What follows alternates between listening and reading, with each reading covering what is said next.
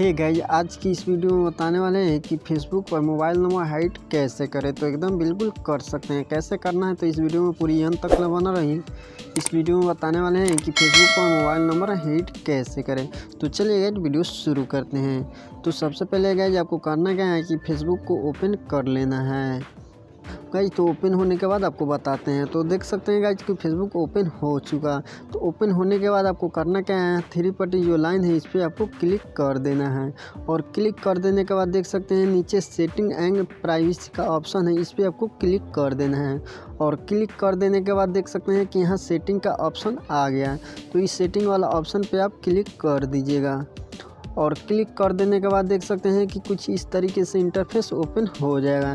तो ओपन होने के बाद यहाँ पर्सनल इन्फॉर्मेशन है, इस पर आपको क्लिक कर देना है। और क्लिक कर देने के बाद देख सकते हैं कॉन्टैक्ट इन्फो है, इस पर आपको क्लिक कर देना है। और क्लिक कर देने के बाद देख सकते हैं कि यहाँ जो मोबाइल नंबर अपना हाइड करना चाहते हैं तो इस पर आपको क्लिक कर देना है। और क्लिक कर देने के बाद यहाँ फ्रेंड वाला जो ऑप्शन है, इस पर आपको क्लिक कर देना है। और क्लिक कर देने के बाद देख सकते हैं कि यहाँ से आप हाइट कर सकते हैं।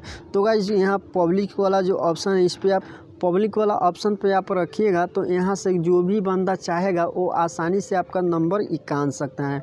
और गाइज़ फ्रेंड वाला जो ऑप्शन पे आप रखते हैं तो यहाँ क्या है कि आपके जितने फ्रेंड होंगे, वही आपको मोबाइल नंबर को देख पाएँगे, दूसरा कोई भी व्यक्ति नहीं देख पाएगा।